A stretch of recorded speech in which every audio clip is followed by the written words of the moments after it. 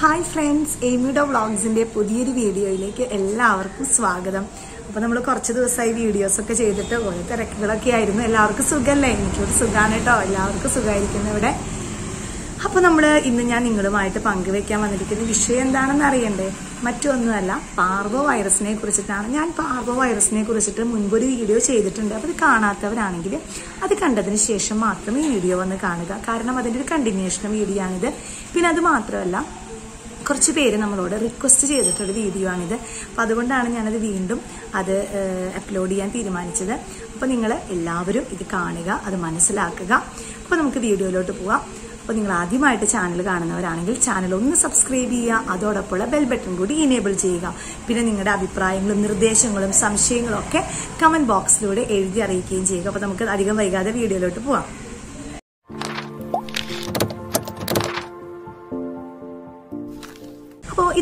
പറയുന്നത് എന്റെ ഒരു ഫ്രണ്ടിന്റെ അനുഭവം ഞാൻ നിങ്ങളോട് ആദ്യമായിട്ട് ഷെയർ ചെയ്യാം. എന്റെ ഫ്രണ്ടിന്റെ വീട്ടിൽ റോട്ടി വീലറിന്റെ അഞ്ച് പപ്പീസ് ഉണ്ടായിരുന്നു.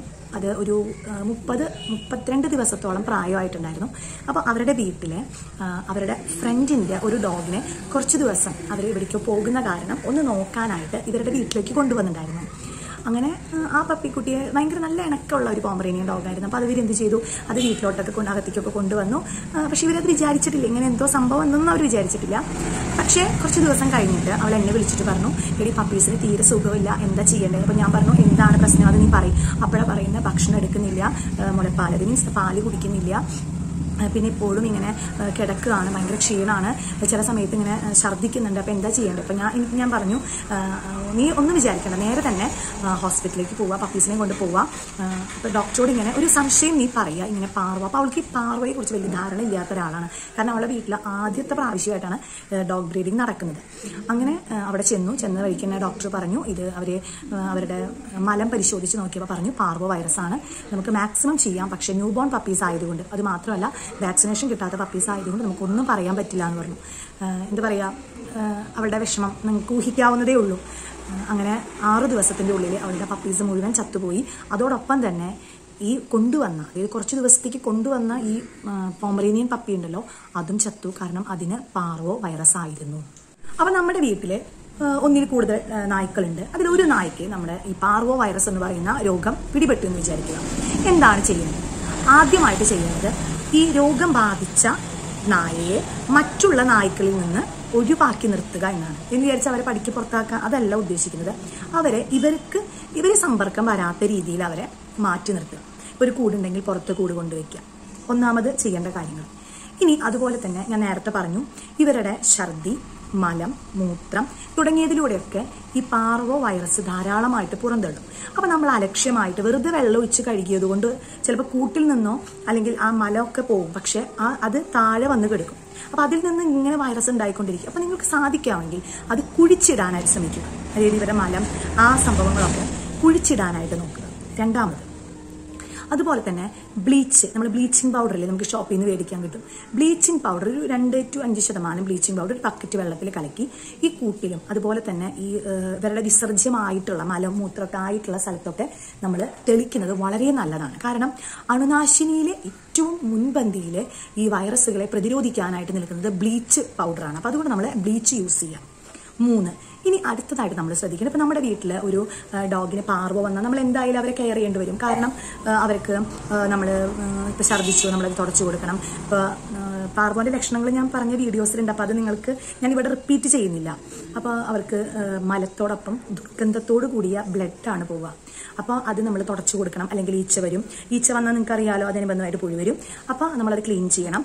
അപ്പോൾ ആ തുണികളൊന്നും നമ്മൾ പിന്നെ യൂസ് ചെയ്യരുത്. കാരണം അതൊക്കെ നമ്മൾ കത്തിച്ച് കളയാനായിട്ട് നമ്മൾ ശ്രദ്ധിക്കുക നമ്മൾ എത്ര ക്ലീൻ ചെയ്തു എന്ന് പറഞ്ഞാലും ഈ വൈറസ് അവിടെ ഉണ്ടാവും. അപ്പോൾ നമ്മുടെ വീട്ടിലെ മറ്റു ഡോഗുകൾക്ക് ഇത് വരാതിരിക്കാനാണ് ഞാൻ പറയുന്നത് കേട്ടോ.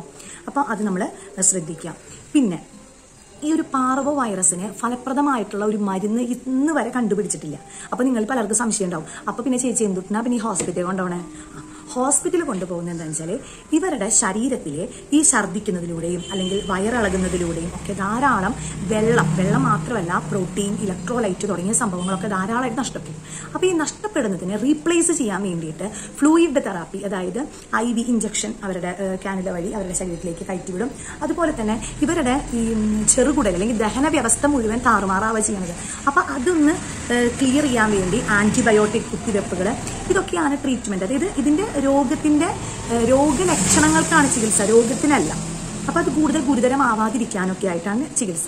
അപ്പോൾ നിങ്ങൾ ഹോസ്പിറ്റലിൽ പോകുമ്പോൾ ഡോക്ടർ പറയും നിങ്ങൾ വെള്ളം കൊടുക്കണം. കാരണം വെച്ചാൽ ഇപ്പോൾ നമ്മൾ ഫ്ലൂയിഡ് തെറാപ്പി ചെയ്തു എന്ന് വിചാരിച്ചു. ഇപ്പോൾ കാലത്ത് ഹോസ്പിറ്റലിൽ കൊണ്ടുപോയി ഇഞ്ചക്ഷൻ ചെയ്തു.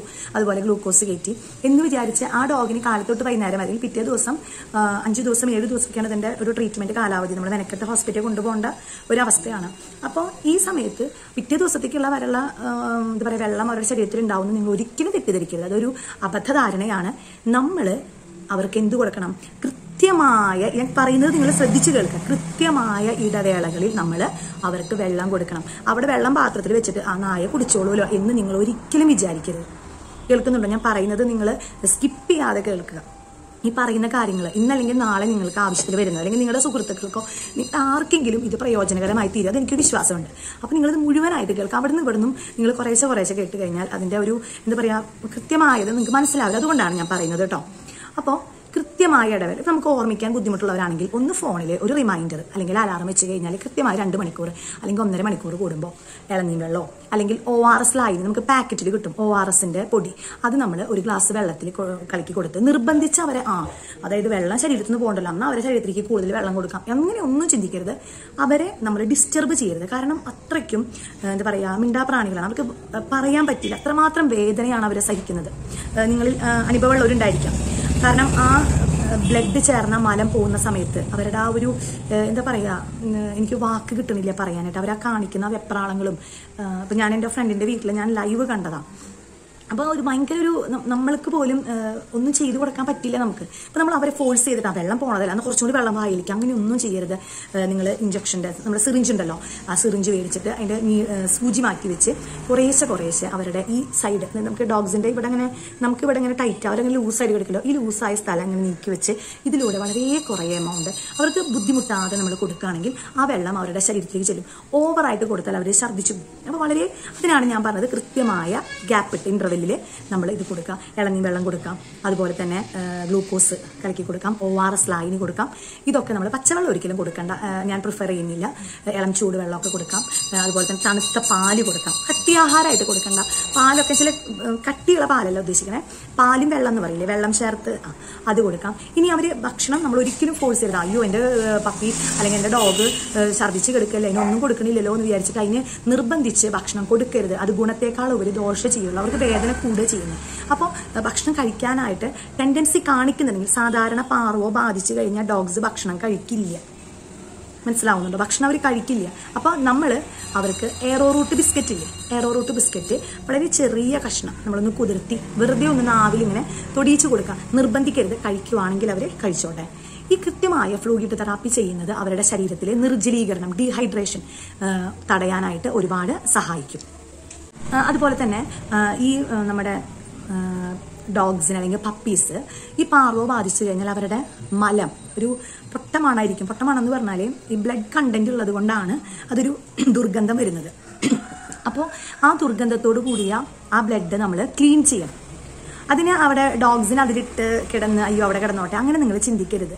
അത് കൃത്യമായി നമ്മൾ അവരെ എടുത്ത് ഗ്ലൗസ് യൂസ് ചെയ്യുക നിങ്ങൾ ഗ്ലൗസ് യൂസ് ചെയ്ത് അത് മുഴുവനായിട്ട് ക്ലീൻ ചെയ്ത് ഇളം ചൂടുവെള്ളത്തിൽ തുടച്ചെടുത്ത് വെള്ളത്തിൽ കിടക്കാൻ ഒരിക്കലും അനുവദിക്കരുത്. അത് ഫംഗൽ ഇൻഫെക്ഷൻ ഉണ്ടാവും.